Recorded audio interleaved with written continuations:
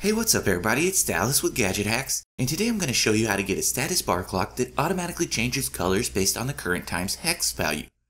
Now hexadecimal color coding works by representing colors as numbers and characters. So something like forest green is 054200 for instance. Those same six digits can be found on a clock at 5.42 am, and that's the basic premise behind the latest Xposed module from developer Structix.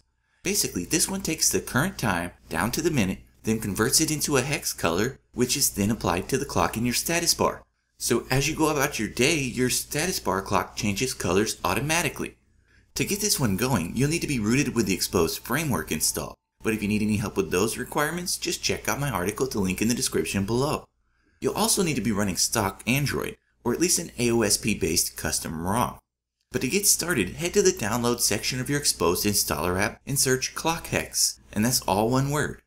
From here, just tap the top result, then swipe over to the Versions tab, and hit the download button next to the most recent entry. Within a few seconds, Android's installer interface should come right up, so tap Install on this screen. When that's finished, you'll get a notification from Xposed telling you that the module hasn't been activated yet and that a reboot is needed. Just tap the Activate and Reboot button on this notification, and Xposed will handle all that stuff for you. When you get back up, your status bar clock will already be colored, but if you open the Clock Hex app from your app drawer, there are a few options worth checking out. First of all, this main screen here gives you a good idea of how the whole thing works. As the minutes tick by, the hex value changes, and the corresponding color does as well. But to make some minor tweaks, go ahead and tap the Settings button near the top of the screen. First up, if you use Xhalo Floating Window, you can enable support for that module from this screen.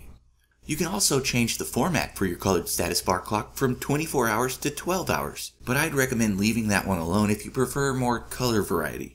And speaking of colors, you can add a hex multiplier if you tap this button at the top of the screen.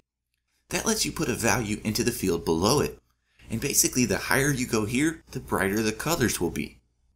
But to give you an idea of how this will look throughout the day, let me head to my settings menu to simulate time changing by adjusting the clock manually.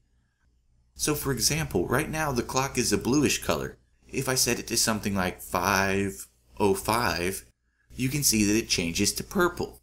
And this will continue to happen throughout the day, so your status bar clock just got a lot more lively. But for more tips and tricks like this, be sure to check out my article over on GadgetHacks.com. And as always, we'd appreciate it if you would like and comment on this video and subscribe to our channel. So we'll see you again next time, folks, but until then, happy gadget hacking.